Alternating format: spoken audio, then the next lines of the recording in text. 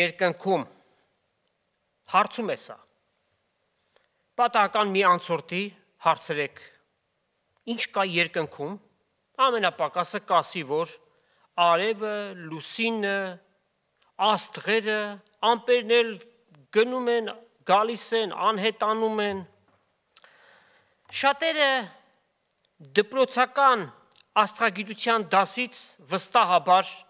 Գիտեմ, որ կան նաև հերավոր մոլորակներ,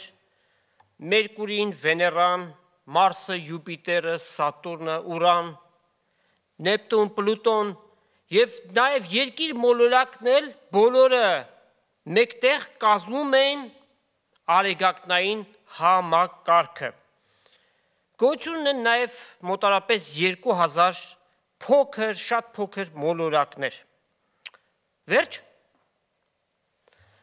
մենք որ մասնակից չենք այդ բաների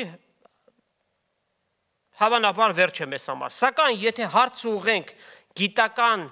մարզի մարդկանց նրանք շատ ավելին կասեն. Մանավանդ աստղագիտության մասնագետներին եւ նրանց համար երկինք հասկացողությունը պրոֆեսիոնալ այսինքն արեստավարժ տերմին եզրույթ չէ այլ նրանք ճանաչում են տիեզերք, կոսմոս։ Հետևաբար հարցումը այսպես ենք դնում. ինչ կա կոսմոսում։ Բազմատիվ գիտական աշխատություններ կան, հաստափոր գրքեր են գրվել, ապացույցներ կան բազմատիվ, չէ որ դիտարկումներ են արել, չափումներ են կատարել։ Մի փոքրիկ հատված մեջբերում կբերենք գիտական ուսումնասիրություններից, ցույց տալու համար, որ աստղագիտության առաջընթացը, գիտական ապացույցները, որոնք փաստերի վրա են հիմնված, անժխտելի են։ Կա եւ հայտնաբերել են Իսկ խոսքը վերաբերում է տիեզերքին եւ քանի որ տիեզերքը անծայրածիր է, հետեւաբար շատ քիչ մասն են հայտնաբերել եւ որքան աստղեր եւ մոլորակներ կան, որ դեռևս հայտնի չեն, կարդանք տիեզերք գիտական ուսումնասիրություններից է վերցրած մի փոքր հատված։ Ինչպես է բացատրվում տիեզերքը շրջապատող նյութական աշխարհը, որը գոյություն ունի անկախ մարդու գիտակցությունից։ Տեզերքում կան ամենատարբեր զանգվածների ու չափերի անհամար քանակությամբ նյութական մարմիններ։ Յուրաքանչյուր մարմնի վիճակը, դրանում ընթացող երևույթները նկարագրվում են ֆիզիկայի ընդհանուր օրենքներով։ Տեզերքի բոլոր մարմինները երկրից բացի դիտողի համար հանդես են գալիս որպես երկնային մարմիններ Այդ մարմինների վիճակները, դրանցում տեղ ունեցող երևույթները, ինչպես նաև փոխազդեցությունները կազմում են աստղագիտության ուսումնասիրության առարկան։ Տեզերքի կառուցվածքի առաջին կարևոր հատկությունը այն է, որ երկնային մարմինները միշտ կազմում են համակարգեր։ Մասնավորապես արեգակը եւ դրա շուրջը պատտվող մոլորակները կազմում են արեգակնային համակարգը։ Մոլորակներից շատերը նույնպես ունեն արբանյակներ, օրինակ Սատուրնն իր 17 արբանյակները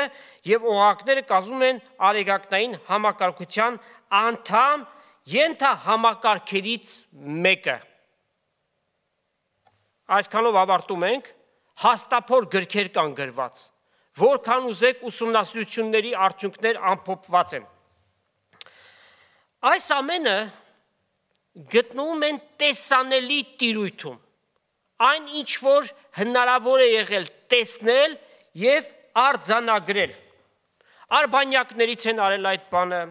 հզոր աստղադիտակներից, տելեսկոպներից։ Կարծում եմ շատերին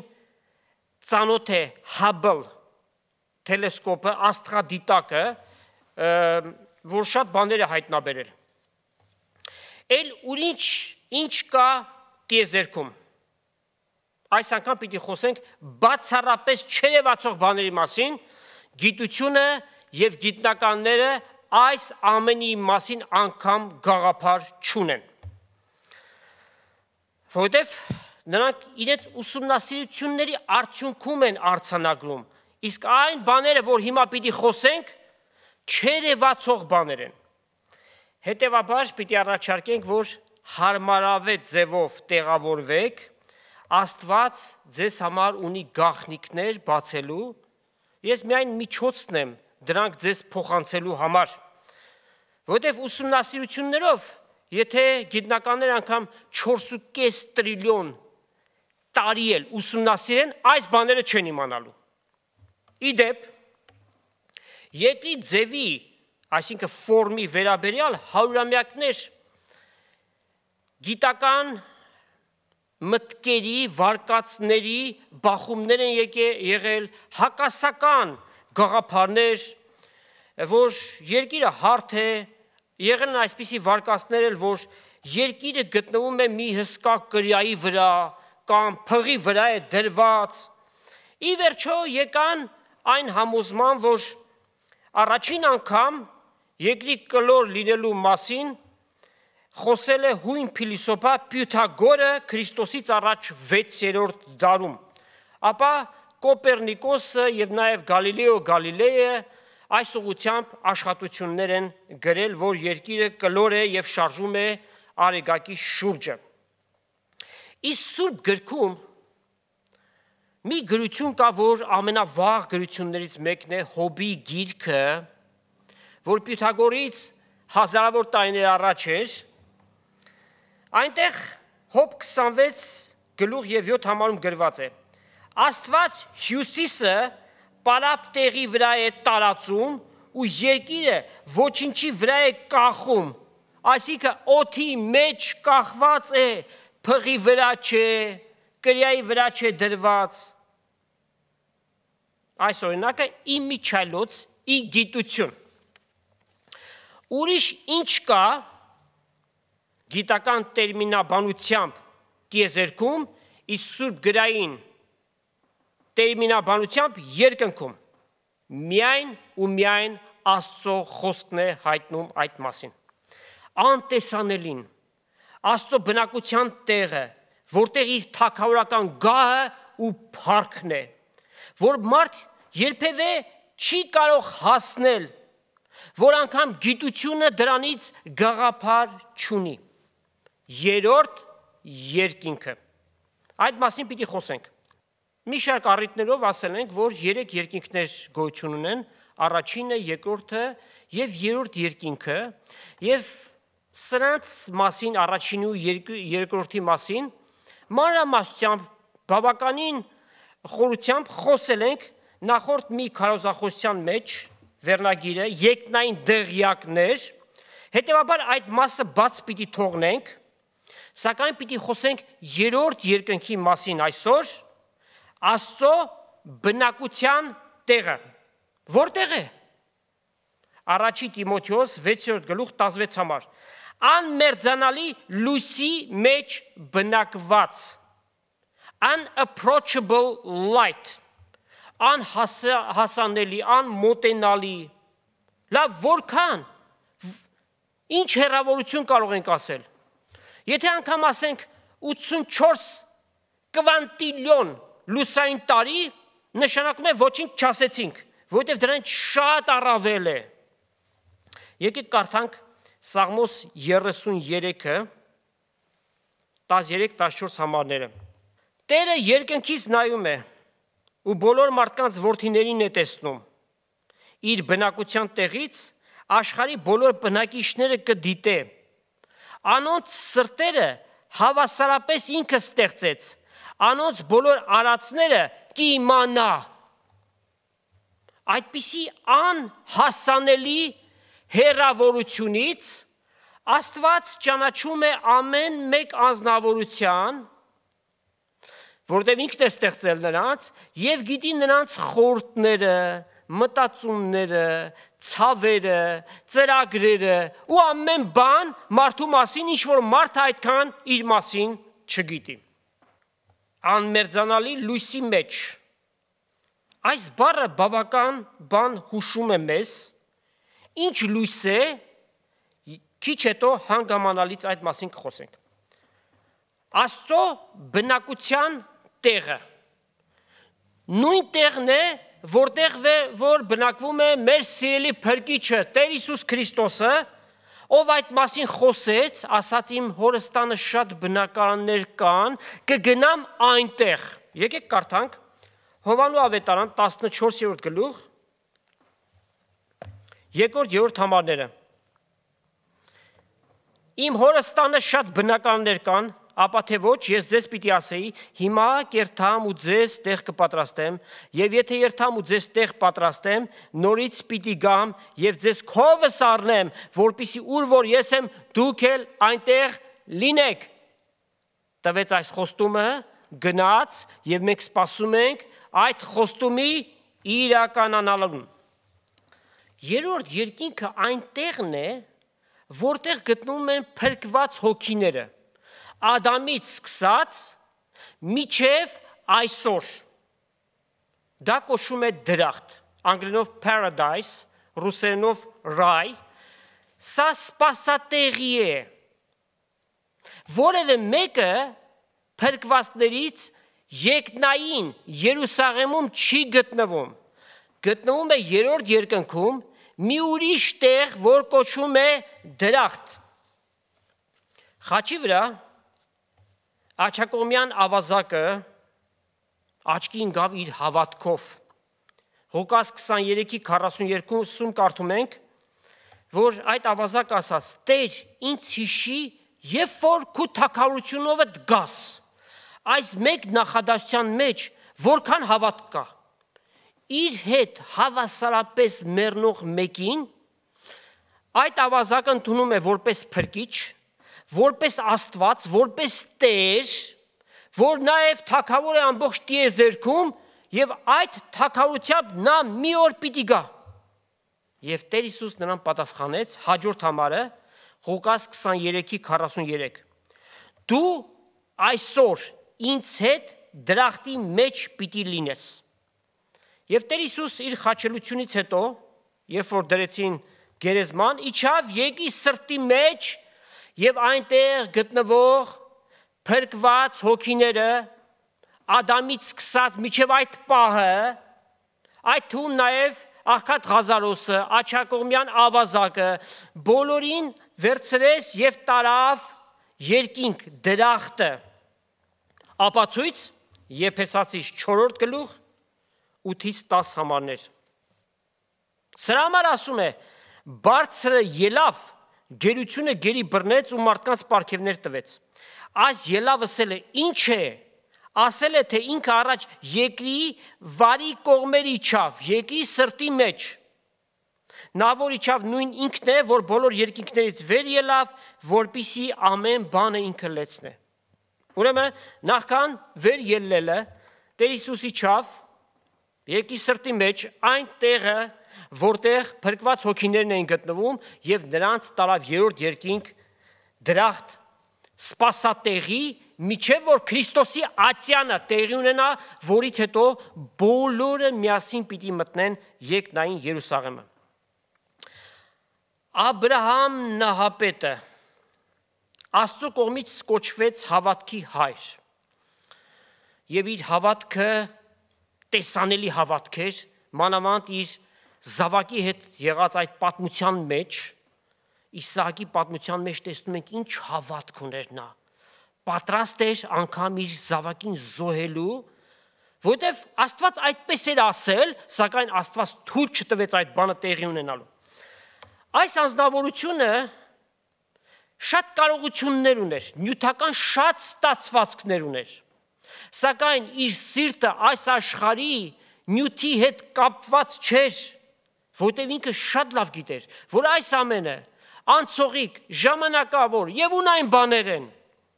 Սրանք տրված են միայն այս կյանքի համար եւ ուսուցողական հետեւյալ բնորոշումը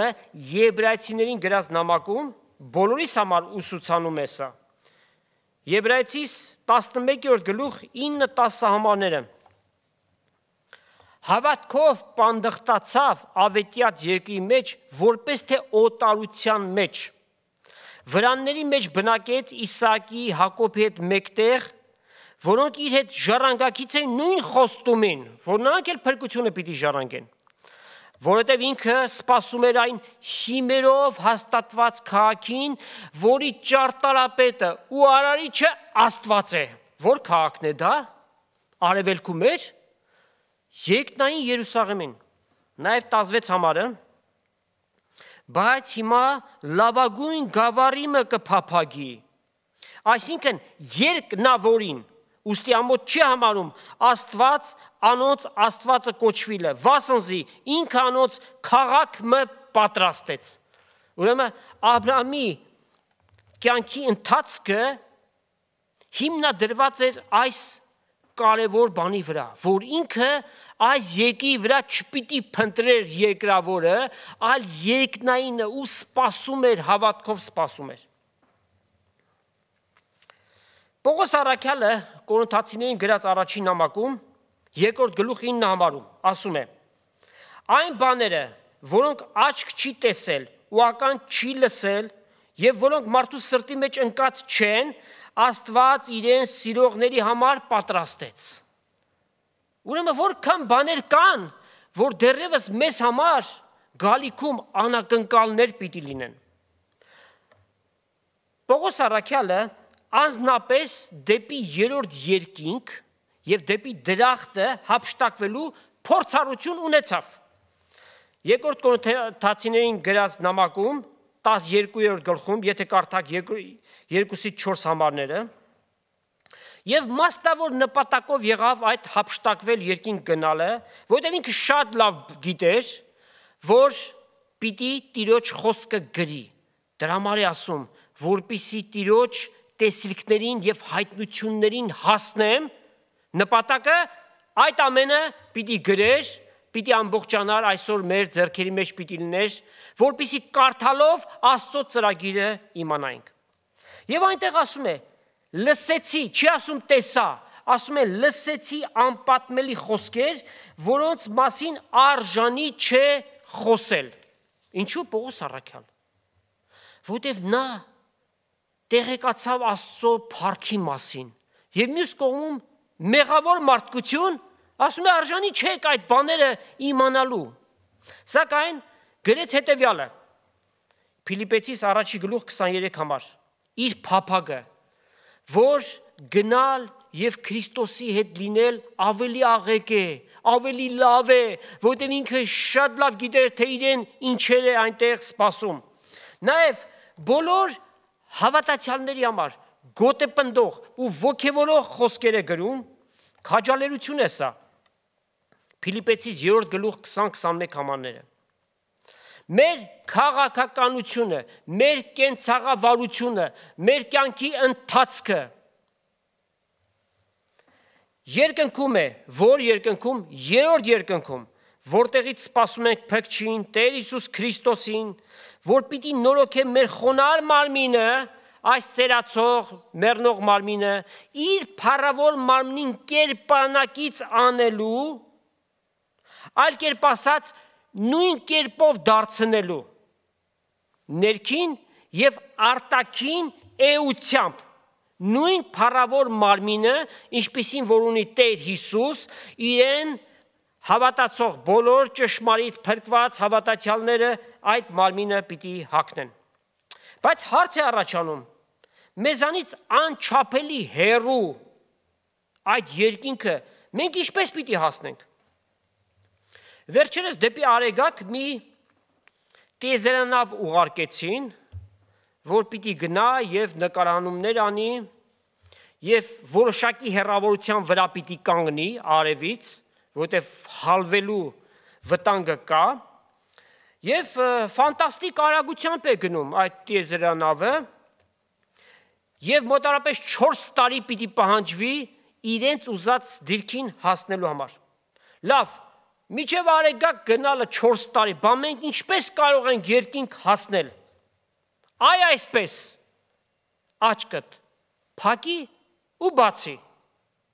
Մենք ֆիզիկական վարություններ չենք անում։ Աստծո խոսքն է ասում։ Առաջի Կորինթացիս 15-րդ գլուխ 52 համարի մեջ աչք փակել բացելու մեջ։ Ուզում եք իմանալ որքան ժամանակ է 0.11 100-ական վարքյան կամ արևմտահայերենով երկ վարքյան Իսկ երկրորդ Կորինթացիներին գրած նամակում 5-րդ գլուխ 5-ից 8 համարները կարդանք Աստված մեզ այս բանի համար է պատրաստում։ Ինչի համար? Որ այս մարմնից դուրս գանք, լքենք այս մարմինը եւ այդ գործընթացը կոչվում է մահ, մահվան միջով անցնել։ Այո, Աստված պատրաստում է մարդուն որ մեզ տվեց նաև հոգու գրավականը։ Սա Սուրբ հոգին է եւ այդ գրավականը ունենալով է, որ մենք վստահ ենք, որ Աստծո թակավորություն պիտի մտնենք։ Ոստի ամենատեն վստահություն ունենանք, քանզի գիտենք, որ չափ մարմնի մեջ ենք, Տիրոջից հեռու ենք։ Վասզի հավատքով ենք քայլում եւ ոչ թե երևույթով։ Ոստի վստահություն ունենանք եւ ալ ավելի ուզենք մարմնից հեռանալ եւ Տիրոջ մոտ լինել մարմնից դուրս Տիրոջ ներկայության մեջ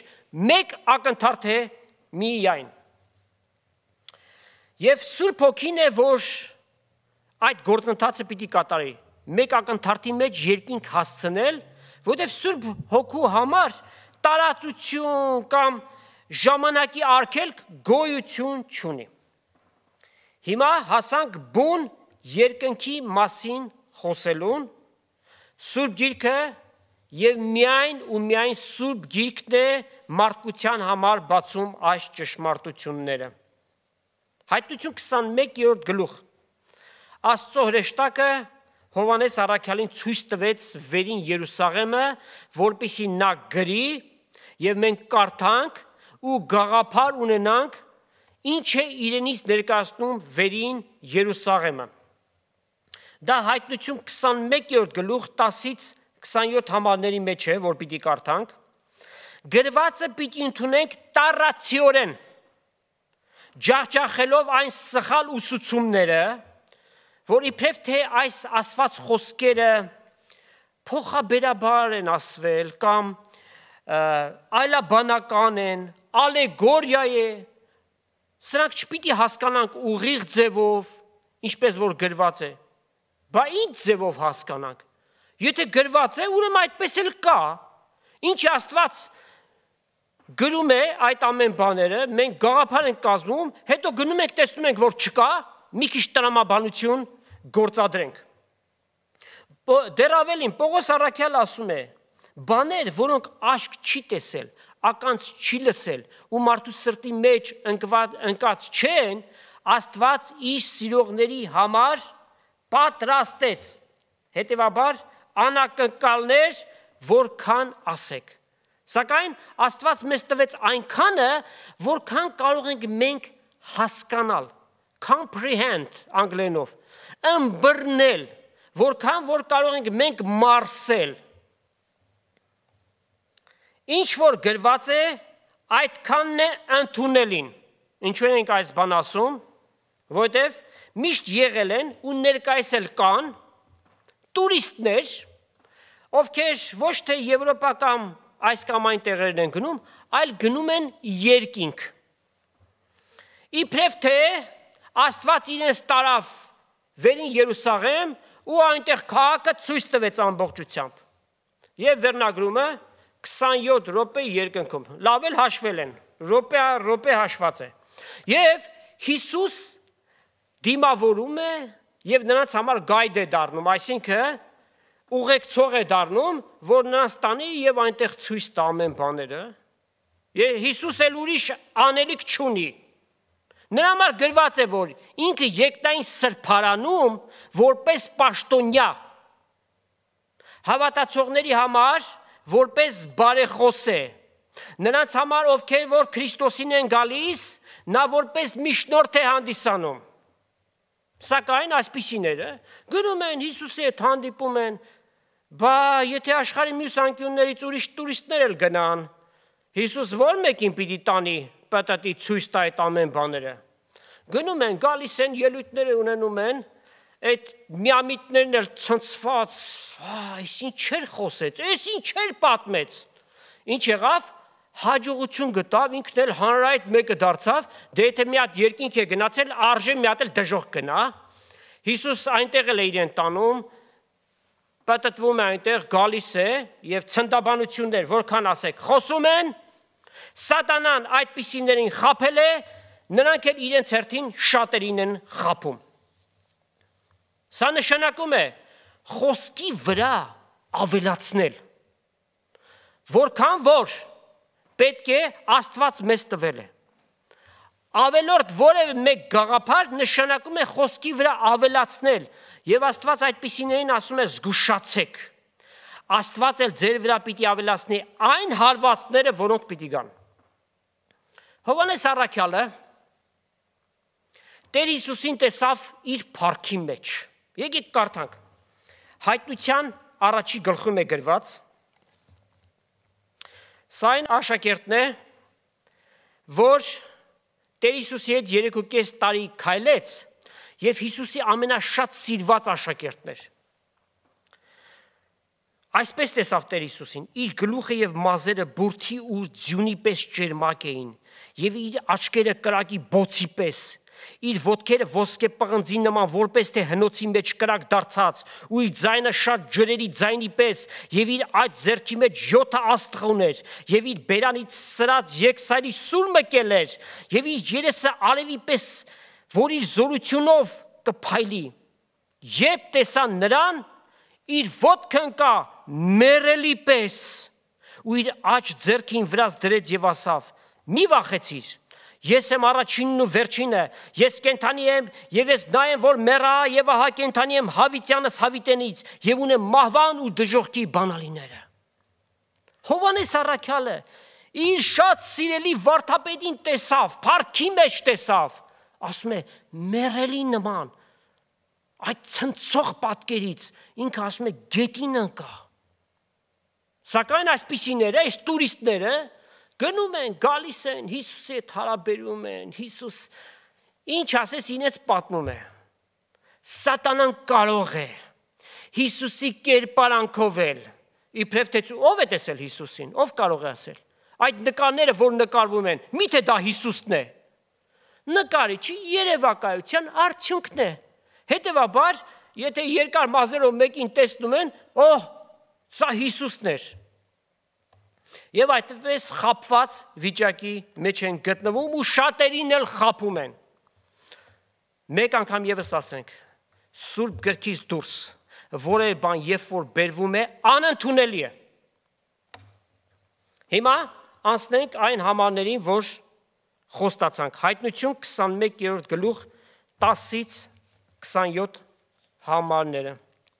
Եվ հոգեով մեծ ու բարձր լեռան մը վրա տարավ զիս եւ ցույց տվեց Սուրբ Երուսաղեմ քաղաքը, որ երկնքից Աստծուց գիշներ։ Ուրեմն այդ կարողությունն ունի քաղաքը իշնելու, երբ պիտի իշնի, եւ որ նոր երկինք ու նոր երկիր լինի, որի մեջ արդարությունը կբնակվի։ Աստծո փառքը ուներ Եվանոր լուսավորությունը խիստ պատվական քարի նման էր ակնվանի երևույթով հասպիս քարի պես։ Ուրեմն парքը նմանվեցվեց ինչ է իրենից ներկայացնում ակնվանը։ Սա թափանցիկ բյուրեղ է, կրիստալ եւ անձեռագործ մարդու սարկված չէ։ Եվ նշեց նաև, որ քաղաքը ունի Փարիսպ։ Լավ, Պարիսպի ինչ պետքություն կա։ Արդյոք թշնամիները պիտի հարցակվեն կամ գողերը պիտի գան ինչ որ վնաս տալու համար։ Բոլորովին սահմանազատումը սրբության, կատարյալ սրբություն։ Կատարյալ Ահա եկեք կարդանք Հայտնություն 21-րդ գլխի 27 համարը. Հոն բնավ անմակրություն մը պիտի չմտնե ոչ ալ պղծություն ու ստություն գործող մը, հապա միայն նրանք, որ գառնուկի կենած գրքի մեջ գրված են։ Երբ որ Քրիստոսի ացյանը իրականանա, այնտեղ չխոստովանված մեղքերը պիտի խոստովանվեն, եւ Հիսուս վերջին խավությունը պիտի անի իր արյունով, բոլորը մաքրված պիտի մտնեն վերին Երուսաղեմը վերջնականորեն։ Անոր Պարիսպը 12 համարն է, մեծ ու բարձր էր, 12 դռներ ուներ, ու դռների վրա 12 հրեշտակներ կային, եւ դռների վրա անուններ էին գրված, այսինքն Իսրայելի որդիների 12 ցեղերի անունները։ Ինչպես գրված է, ուրեմն այդպես էլ կա։ Սրա մեջ որևէ այլաբանություն կամ փոխաբերական իմաստ չկա։ Արևելյան կողմից 3 դուր, հյուսիսից 3, հարավից 3 եւ արևմտյան կողմից 3 դուր։ Քաղաքի Պարիսպը 12 հիմեր ուներ, նրանց վրա Գառնուկի 12 առաքյալների անուններն էին գրված։ Երբ որ Հուդան իր տեղը գնաց, որտեղ որ պատկանում էր, մնացին 11 առաքյալներ։ Եվ Պետրոս եւ ուրիշներ գործ կառակելուց առաջի գլուխ երկու անձերի բերեցին Մադաթիա եւ Հյուստոս անունով եւ վիճակ գցեցին Աստծուն խնդրելով, որ այս երկուսից որ մեկը պիտի լինի 12-րդ առաքյալը։ Եվ վիճակը դուրս եկավ Մադաթիային։ Եվ նա չի ասում 12-րդ առաքյալը դարձավ, սեփվեց, այսինքն այդպես համարվեց։ Սակայն Աստված աշխարի հիմնադրությունից առաջ արդեն ընտրել էր մի անznավորություն, Սողոսը, որ Պողոս պիտի կոչվեր, ում որ իր մոր որովայնից արդեն ծրագրված էր, նախասահմանված էր եւ ժամանակը եկավ Պողոս առաքյալը դարձավ այդ 12-րդ առաքյալը։ Եվ այսպես Աստված գնահատում է իր անվան համար զոհ դարձած, այսինքն մարտիրոսացված առաքյալներին ճիշտ է Հովանես առաքյալը իր մահով մեռավ, սակայն վկայություններ կան, որ հեթանոսները նրան այրված յուղով կրակի մեջ են գցել, սակայն Աստվածային հրաշք նա չի մահացել։ 12 հիմերուն էր Պարիսպը եւ նրանց վրա Գառնուկի 12 առաքյալների անուններն են գրված։ Կարդում ենք 16 համարը, քաղաքը քարակուսի էր, նրա երկայնությունն ու լայնությունը նույնն են եւ քաղաքը նույն եղեգով 12000 ասպարեզ չափեց 12000 ասպարեզը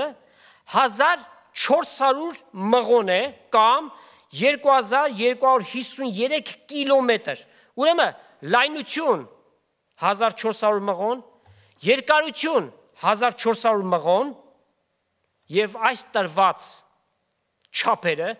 պերճախոս ապացույցն են այն բանի, որ երկնային Երուսաղեմը իրական վայր է, քաղաք է, չափերը տրվեց մեզ։ Եվ նաև գրված է բարձությունը նույնպես հավասար էր։ Այսինքն 1400 մղոն էլ բարձությունը։ Եվ այն կարծիքը, որ սա ոչ թե խորանարդ է, արդեն խորանարդ ստացանք, չէ, այլ բուրգ է, այդ դեպքում եթե 4 կետերից վերցնենք եւ գնան նրանք հատվեն 1400 մղոն չեն կարող ապահովել։ Հետևաբար խորանարդ է այս քաղաքը։ Գիտեք, երկնային բաները հաճախ երկրավորով են հասկացվում։ Ինչպես որ երկնային սրբարանի օրինակը ցույց տրվեց Մովսեսին, որ անապատի խորանը կանգնեցնի ճիշտ նույն կերպով ինչպիսին երկնքում կա։ Եվ նույն ձևով Աստված երբ որ տաճարը պիտի սարքվեր, Սողոմոնին այս հրամանը տվեց, որ երկայությունը, լայնությունը եւ բարձրությունը 20 կանգուն պիտի լինեն։ Հիմա հասկանում ենք, որ ուրեմն երկնային Երուսաղեմի չափերը տրված 1000 400 մղոն. Երկար, երկարությունը, լայնությունը եւ բարձրությունը։ Ուրեմն քաղաքի տարածքը որքան կարող ենք վերցրել 1400 քառակուսի մղոն որբիսի պատկերացում կազմենք այսպես վերցնենք. Ենթադրենք Լոս Անջելեսը որ 50 մղոն իր երկարությունը եւ լայնությունը այդպես վերցնենք հավասար. Սա նշանակում է, որ այդ տարածքի մեջ 784 Լոս Անջելոս իրար կողք կողքի, երբ որ դնեն, այդ չափերը կապահովեն, այդ տարածքը։ Լոս Անջելեսը Միացյալ Նահանգների երկրորդ ամենամեծ քաղաքն է Նյու Յորքից հետո։ Մեր հայրենիքը, փոքրիկ մեր հողակտորը Հայաստանը, որ մոտարապես 30000 քառակուսի կիլոմետր է, Երկնային Երուսաղեմի տարածքի մեջ 105 Հայաստան կարող է տեղավորվել եւ սա մեկ քաղաքն է միայն։ Այս քաղաքը կարող է գրավել Միացյալ Նահանգների 2/3 ամբողջ տարածքի 2/3-ը։ Պատկերացրեք Լոս Անջելեսից ինքնաթիռով գնում ենք Նյու Յորք մոտավորապես 5.5 ժամ 900 կիլոմետր ժամ արագությամբ ինքնաթիռը գնում է եւ այդ ամբողջ տարածքը մեկ քաղաքին է պատկանում։ Այսպիսի մի հաշվարկ են կատարել Ադամից միջև հիմա հաշվել են թե որքան մարդիկ են ապրել անշուշտ թվերը բավականին կոպիտ են ուղակի պատկերացում կազմելու համար հաշվել են տարբեր մեծ ու փոքր պատերազմների ժամանակ զոհված մարդկանց թիվը, նաև ցեղասպանության որ զոհ գնացածների թիվը մոտարապես հաշվել են 100 միլիարդ մարդ 100 բիլիոն Եվ հաշվարկը կատարել են 20%-ով, որ նրանցից 20%-ը փրկված են, անշուշտ գիտենք, որ այդ թիվը բոլորովին էլ չի համապատասխանում, Երանի այդպես լիներ։ Անկամ 5% եթե ասում են խիստ պայմանական է, լավ, հաշվենք 5%-ով, ուրեմն 5 միլիարդ մարդ եթե փրկվել է, եւ Երուսաղեմի, վերին Երուսաղեմի այդ ամբողջ տարածքի վրա բաժանումներ կատարենք, ամեն մեկ անznավորության 300 հեկտար է հասնում 300 acre տարածք 18-ից 21 համարները քաղաքի բնորոշումն է կարդանք. Անոր Պարիսպի շինվածքը հասպիս քարից էր, կարդացինք այս մասին, եւ քաղաքը զուտ ոսկեր, մաքուր, ապակու նման։ Հրավիրում ենք աշխարի ամենա հանրահայտ ոսկերիչներին։ Թող գան եւ բացատրությունը տան ինչ է նշանակում մաքուր ապակու նման ոսկի։ Գիտենք, որ նրանք այս ամենը որպես հեքիաթի ժանրից պիտի նկարագրեն։ Սակայն մենք ասում ենք 100%-ով այդպիսին պիտի լինի, այդպիսին պիտի տեսնենք, ինչպես որ գրված է։ Որտեվ Աստծո խոսքը 100%-անոց է, կատարյալ է։ Նաև կարդանք, շարունակենք։ Քաղաքի Պարսպի հիմերը ամեն տեսակ պատվական քարերով զարդարված էին։ Առաջին հիմը հասպիս, երկրորդը շապուղիա,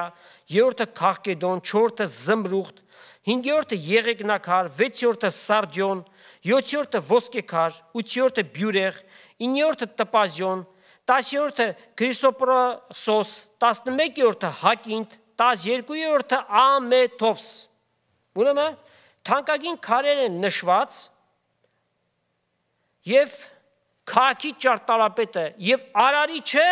Աստված է ահա հոգեղեն աշխարհի սկզբունքներով, օրենքներով պատրաստված մի քաղաք։ Իդեպ Խաղկեդոն բառը թերևս շատերին ծանոթ է, սա Պոլսի մի արվարձանն էր, որտեղ տիեզերական ժողով է տեղի ունեցել։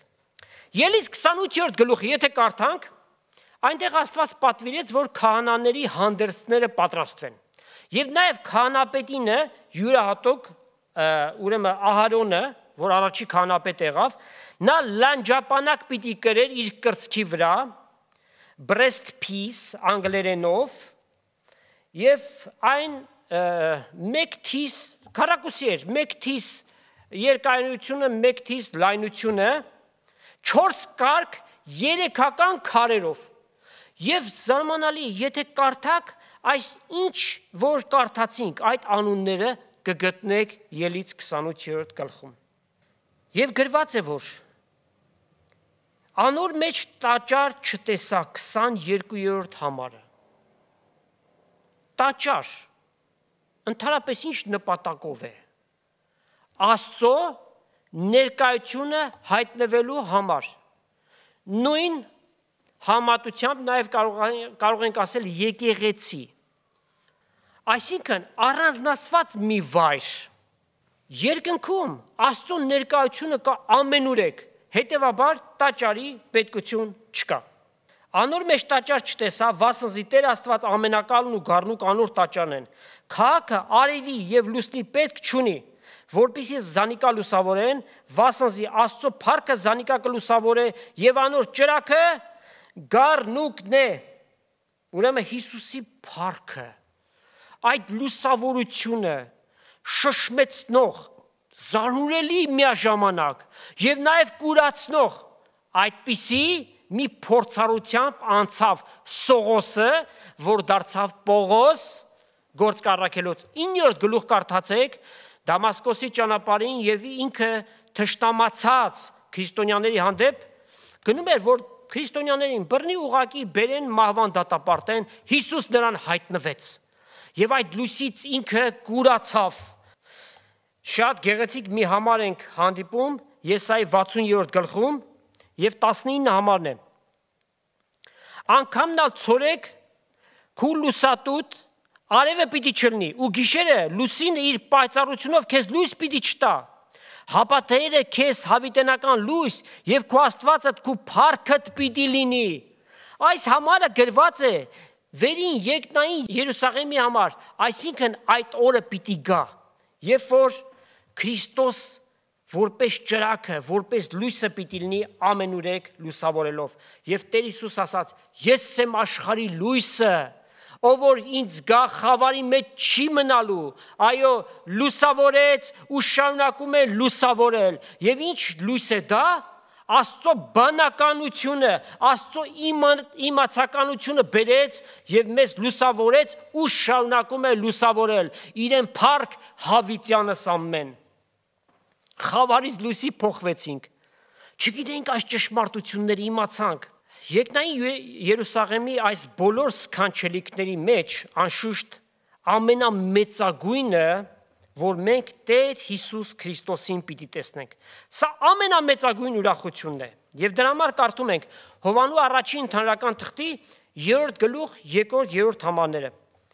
Սիրելներ, հիմա մենք Աստծո որդիներ ենք ու տակավին հայտնի չէ թե ինչ պիտի լինենք, սա էլ մեզ համար անակնկալ պիտի լինի, բայց գիտենք, թե երբ նա հայտնվի, նրա պես պիտի լինենք փառավորյալ մարմին հակած, եւ նրան պիտի տեսնենք ինչպես որ է, նրա պայծառ երեսը պիտի տեսնենք։ Ոստի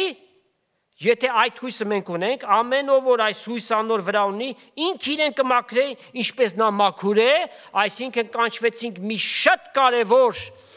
առաքելության, այն է սրբության կյանքին։ Եվ առաքյալ ասում է, ձեր սրբությունը կատարելագործեք Աստծո երկյուղով, ամեն օր միջև Տերը հայտնվի։ Երկնքում էլ ինչեր կան, երկնքում կան հետևյալ բաները։ Աստծո սերը, երկնքում կա խնդություն, այսինքն ուրախություն, ցնծություն, անգլերենով joy, խաղություն, բարություն, քաղցրություն, իրական անխարդախ, որովհետև սրանք Սուրբ Հոգուց հորդելու են։ Նրա մեջ մարդկային հին բնությունից ոչինչ չի մտած։ Երկնքում ինչեր չկան։ Չկա արցունք, ցավ, հոգնություն, հիվանդություն,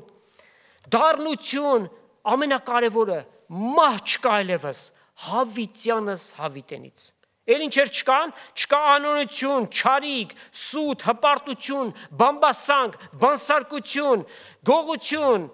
ագահություն, հայություն, նախանց եւ ամենայն ինչ որ ադամական բնությունը իր մեջ կրում է, որ զազրելի է, զզվելի է։ Տեր Հիսուս երկնքում մարդկանց հարաբերությունները այսպես որակեց, Մատթեոս 22-րդ գլուխը որ կարդակ, սադուկեցիներ կային, աղանդավոր էին սրանք, մեռանների հարության էլ չէին հավատում։ Մի հարցով եկան Տեր Հիսուսի մոտ, իբրև թե նրան փորձում են, թե ինչ կասի, ասեցին, որ 7 եղբայրներ կային, նրանցից ամենամեծը մի կնոջ հետ ամուսնացած էր, բայց այդ եղբայրը մահացավ ըստ Մովսեսի օրենքի, որpիսի սերունդ ապահովեն, երկրորդ եղբայր ուզեց այդ կնոջը, նա էլ մահացավ, երրորդը եւ այդպես 7-ն էլ ուզեցին այդ կնոջը հետո մեռան։ Հիմա երկնքում այդ կինը, այդ 7 եղբայրներից որ մեկի կինը պիտի լինի։ Եվ Հիսուս նրանց ասաց. «Այ անմիտներ»։ Ոչ գրքերը գիտեք, ոչ Աստծո զորությունը երկնքում կին առնել, երկան տրվել չկա, այլ Աստծո հրեշտակների պես են, այսինքն բազմանալու պետքություն այլևս չկա մեր սիրելի եղբայրներից մեկը, ով որ շատ սպասում է Տիրոջ գալուստին, այդ փափագ ունի, ասում է Երանի Տերը հայտնվի։ Հետևյալ ասած, սակայն մի բան կա, որ լավ չի։ Ասեցի ի՞նչ։ Ասած կնոջս հետ մոտարապես 40 տարի ապրել եմ։ Այդ ինչպես կլինի, որ երկնքում նա իմ կինս չլինի ասեցի անշուշտ որ չի լինելու, որովհետև Տեր Հիսուս արդեն բացատրությունը տվեց, ասաց իսկ բացառություն չի լինի։ Հաստատ չի լինելու անգամ ոչ մեկ բացառություն, բացառիկ ու նոր կարգի հարաբերություն պիտի լինի երկնքում բնակիչների միջև աստվածային սրբությամբ լեցված։ Եվս մեկ հարցում. Երկնքում մարդկանց ինչպես պիտի ճանաչենք եւ արդյոք պիտի ճանաչենք թե ոչ։ Նախ ասենք, որ բոլորս երկնքում կատարյալ պիտի լինենք։ Բոլոր ասածը բոլոր փրկվածների մասն է խոսքը։ Փառավորյալ մարմնով եւ երիտասարդ այս երկրավոր բնորոշումներով։ Երիտասարդ կատարյալ անգամ ծերերը ովքեր այս աշխարհից հեռանում են, առաջացած տարիքի մեջ նրանք էլ պիտի երիտասարդ լինեն, անկամ փոքր երեխաները նրանք էլ երիտասարդ պիտի լինեն։ Առաջի կոնտացիներին գրած նամակում Պողոս Արաքյալ այդպիսի բացատրություն տալիս է։ Ուրեմն 15-րդ գլուխ 42-ից 46 համարները։ Այսպես էլ մեռների հարությունը. Մարմին ապականությունով կսերմանվի, անապականությունով հարություն կառնի։ Ինչն է ապականում մարմինը՝ մեղքը, այսինքն այս ադամական բնության մեջ այդ մեղքը կմնա ու կգնա։ Անարգությունով կսերմանվի, փառքով հարություն կառնի, մարդիկ կան, որ խեղված է իրենց մարմինը, մարմնի որոշ անդամներ ձեռք, ոտք եւ այլն երկար չգնանք, չունեն։ Տկարությունով կսերմանվի, զորությունով հարություն կառնի։ Մեկի լսողությունն է գնացել, հիշողությունն է կորցրել, կամ տեսողությունն է վատ, զորությունով հարություն կառնի, կսերմանվի շնչավոր մարմին, այսինքն կգնա գերեզման, եւ հարություն կառնի հոգեվոր մարմին, որ է փարավորյալ մարմինը։ Շնչավոր մարմին կա, հոգեվոր մարմին էլ կա։ Եվ այսպես գրված է. Առաջին մարդ Ադամ կենթանի շունչ եղավ, վերջին Ադամը կենթանարար հոգի։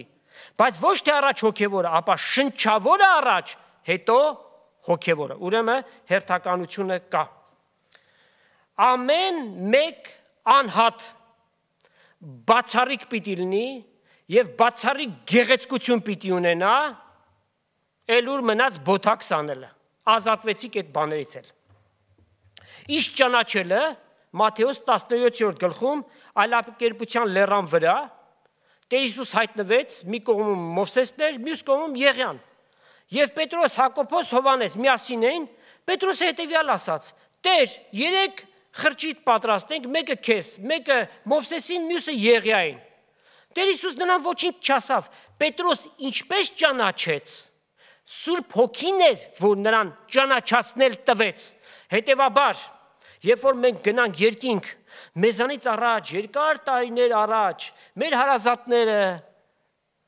մեր ծնողները, մեր տատիկները, պապիկները, ովքեր հավատքով երկին գնացին, նրանց պիտի ճանաչենք։ Ուրեմն Սուրբ Հոգին է, որ ճանաչացնել պիտի Այստեղ հա, մեկ հարցում եւս գալիս է, որ ոմանք էլ տալիս են։ Երկնքում ձանձրալի չի լինելու։ Այսքանից հետո էլ ձանձրանալ կա երկնքում։ Պաշտանմունք սրտի համակ ցնծությամբ, ծառայություն առանց սպառվելու, սովորել առանց հոգնելու։ Պիտի սովորենք, պիտի ճանաչենք ու ճանաչելու հետևից պիտի լինենք։ Ուրեմն կատարյալ հանգիստ եւ ոչ մի ձանձրույթ երկնքում։ Լավ։ Ովքեր են որ երկինք պիտի գնան։ Եթե առասպելականներին հարցնենք, իրենք են որոշում, այսինքն ում վրա աղոտ կարեցին, մեռնելուց հետո գնում են երկինք այս ճյուրիմացությունը մի ամբողջ ազգի խափել է։ Ովքեր պիտի գնան երկինք, Տեր Հիսուս հետևյալ ասաց. Ես եմ ճանապարհը, ճշմարտությունը եւ կյանքը։ Ով որ ինձ հավատա, թեև մեռնի պիտի ապրի։ Եվ մեկը հոր մոտ չի կարող գնալ, եթե առանց առանց Տեր Հիսուս Քրիստոսի։ Ուրեմն ճանապարհը ինքն է, որpիսի երկինք գնաս, պետք է նրան քո կյանքիդ մեջ ունենաս։ Ուրեմն մեկ քայլ ունես անելու եւ սա քո կյանքի ամենամեծագույն քայլն է ու ամենամեծագույն որոշումը Հիսուսին հravirի քո կյանքիդ մեջ ընդունելով նրան որպես Տեր եւ Փրկիչ եւ խոստովանի քո մեղքերը պետքություն չունես ուրիշ որը մեկին այս գործընթացի մեջ ներգրավելու դու ինքդ եւ Աստված խնդրի Տիրոջը որ ների քո մեղքերդ Աստված լսում է քո աղոթներդ եւ անշուշտ պատասխանը տալիս է։ Դրա համար պետք է որ սիրտդ խոնարեցնես եւ հավատաս ավետանի բարի լուրին, այն ինչ որ գրված է։ Եվ Հիսուս իր արյունով քու բոլոր մեղքերդ կսրբի, չէ իշելու պայմանով եւ դու Աստծո որդի կդառնաս։ Սիրներ, ամեն բանի վաղճանը մոտեցած է։ Տիրոջ գալուստը շատ մոտ է։ Հետևաբար այդ նկարագրված մեր մտքին հասանելի չափով նկարագրված զմայլելի քաղաքում շուտով պիտի հայտնվենք։ Դրա համար խնդրենք, որ Տերը շուտով գա, մանանաթա, Տերը գալիս է, ամեն նախադրյալները պատրաստ են եւ մեր սրտերի մեջ համակ ուրախություն ունենք մեր փրկչին դիմավորելու։ Իսկ նրանք ովքեր որ պատրաստ չեն, հենց այսօր ապաշխարեցեք։ Տերը թող ձեզ իմաստություն տա այդ քայլը անելու։ Եվ Տեր Հիսուս Քրիստոսի շնորհքը, Հայր Աստծո սերը եւ Սուրբ Հոգու հաղորդությունը Աստծո ժողովրդի հետ լինի։ Ամեն։